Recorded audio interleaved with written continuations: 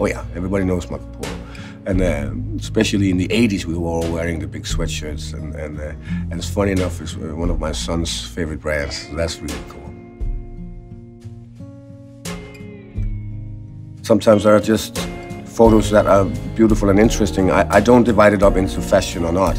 Whatever catches your eye is interesting. If that happens to be fashion, I think the photographer has done a really good job. But I guess it's, yeah, follow your heart, follow your nature.